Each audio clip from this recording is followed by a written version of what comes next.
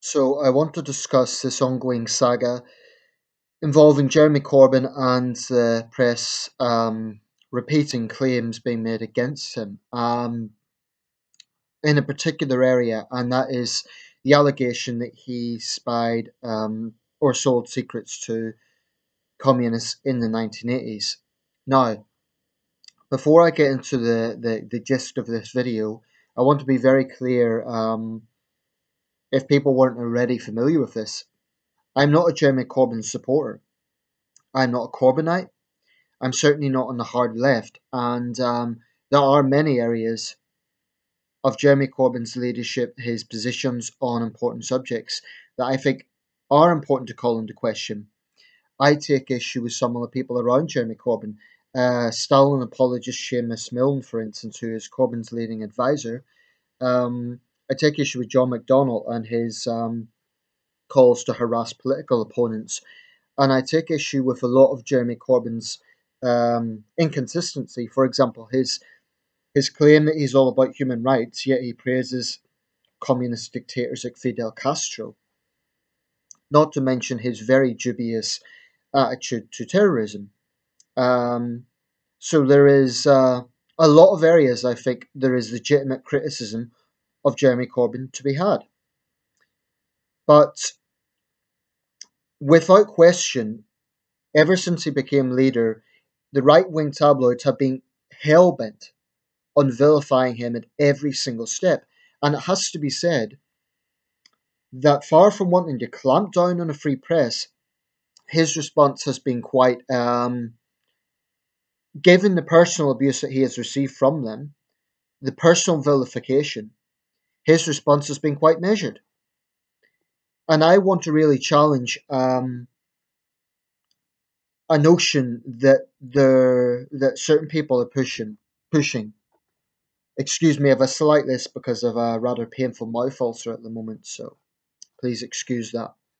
Well, uh, I'm gonna I'm gonna read a report from the Eye which okay is a centre left paper, but I don't think you could call it Corbynite. Um, and this is a report. It's not too long, so I'll read it all out if you bear with me. Jeremy Corbyn went on the offensive last night, warning billionaire press barons that change is coming. Goaded by wild and entirely false reports that he spied for Czechoslovakia in the 1980s, the Labour leader gave notice that a Labour government would act to curb the excesses of elements of the media. This is a reference to him pushing for Leveson Part 2. In a video message released on social media, he said, We've got news for them. Change is coming. He ridiculed the suggestion that he pass information to an agent of the Czech STB intelligence agency. The report, originally in The Sun, that he had met the Czech spy has led to a succession of claims about his links to communist era spies. He named The Sun, owned by Rupert Murdoch, the Daily Mail, owned by Lord Rothermere, the Daily Telegraph, owned by the Barclay brothers, and the Daily Express, owned by Richard Desmond, who is in the process of selling it to the Trinity Mirror. Accusing the papers of all going a little bit James Bond with their claims, he said, It's easy to laugh, but something more serious is happening. Publishing these ridiculous smears that have just been refuted by Czech officials show just how worried the media bosses are at the prospect of a Labour government. They're right to be. Labour will stand up to the powerful and corrupt and take the side of the many, not the few. A free press is essential for democracy, and we don't want to close it down. We want to open it up. At the moment, much of our press isn't very free at all. In fact, it's controlled by billionaire tax exiles who are determined to dodge paying their fair share for our public vital services they're continuing to resort to lies and smears. Well, we've got news for them. Change is coming. The Sun has defended its reports of his meeting with an agent as being in the public interest. Now, this guy, this agent, I believe his name is Jan um, Kochi. I, I don't know the exact pronunciation, but from what I've heard of him so far, he seems like a bit of a fantasist. The same guy has claimed that the Czech government was behind the Live Aid concert in 1985 which common knowledge would show you was organised by Bob Geldof and Midge Ure. So it hardly seems like a credible source. Also, there's practical things to raise. um, whilst Corbyn is certainly well to the left, he was a backbench MP. So he's hardly going to be privy to personal state secrets being discussed, for example, in the inner sanctums of the Thatcher government. Um, you know, if you're going to hire a spy, you'd think it would be someone a bit up higher up the pecking order. Um, so that certainly raises questions. But what I want to challenge is the, the absurd response that some people are making here. I, I, emphasised when I was reading that out that Jeremy Corbyn was clear that he supports a free press, but he is calling for more accountability, basically. And I happen to agree with that. There's many areas I disagree with Corbyn on. In this particular area, I think he's right. I do think that the the press in this country has far, far, far too much power. I mean, people say we have libel laws, and I've been in rather heated debates about this this evening. People said, "Oh, well, Jeremy Corbyn can sue them," but they're failing to recognise that if Jeremy Corbyn took that approach, if he tried to sue the Sun, that would only galvanise their phony argument, "Oh, it's an attack on press freedom." And what I have a problem with is this pretext of press freedom being used as basically for them to hide behind anything. So they can smear someone publicly and basically say we can get away with it because hey, it's press freedom. You know, don't underestimate what these people can do. Look at the case of the landlord of uh, Jo Yeates. That was a high profile murder case in Bristol. The tabloids totally smeared that man. He turned out to be totally innocent. I ended up getting damages, uh, financial damages, but the point is there's a fundamental rottenness at the core of the tabloid press. These are people who can give but they can't take, just like schoolyard bullies.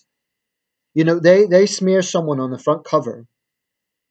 You'll be lucky if you get a small apology on page 30. And I think that's wrong. And I think those who constantly bring up this argument about freedom of the press don't seem to recognize that with that comes press accountability. At the moment, there's very, very, very, very little press accountability from these powerful tycoons. When was the last time Paul Dacre of the Daily Mail showed his face to the public? Where's the accountability there? For all his questionable areas, at least Jeremy Corbyn is elected. And that's that's the, the premise I really have a problem with is the idea that tabloid rags can say anything they want under the guise of press freedom, but if anyone challenges them, then they're attacking press freedom. I.e., they're not accountable somehow. Why shouldn't Jeremy Corbyn be allowed to defend his reputation? What they're doing is they're repeating these claims that seem to have very little basis in fact. Why do I say that? Because in the particular day in question, um, in May 1987, I believe it was May 24th, 1987, Parliament was actually in recess. This is the day they claim that Corbyn met this man. Uh, or he claimed it and they're repeating it. The, the ex spy claimed this. The Sun is repeating it. Parliament was in recess. It also happened to be the day that Corbyn's mother passed away. Now that is pretty low. No one here is smearing him, but you know they're using a, a personal family situation, uh, ignoring a personal family situation that he had to do it and to to repeat that sort of baseless now debunked claim. Um, in my opinion, they should issue an apology to Jeremy Corbyn for this, but they're never going to. Because they're fundamentally arrogant people. They, they, they have no humility whatsoever. And I would implore people, if like me you are wary of Jeremy Corbyn, you must also be wary of the power of the press. And do not be hoodwinked into thinking that when they shout about press freedom, I mean, the Sun had an absurd picture today. It was an unflattering picture of Corbyn. Uh, and then a, a line about him wanting to attack press freedom, but he clearly said that that isn't what they're intending to do. He's calling for more accountability. What's wrong with that? Why shouldn't the press be more accountable? And I think that is a fundamental issue here. This is not just about Jeremy Corbyn. It goes well beyond that.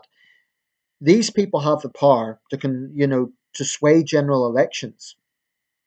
Look at the track record. I mean, I believe it was the 1992 election. The Sun had the headline, Will the last person to leave the country please turn off the lights? when they were attacking Neil Kinnock. They've attacked every left wing Labour leader ever. And I will defend the Sun's right to dislike the left and to criticise the left, but they should not be allowed to get away with repeating baseless smears. That's the issue.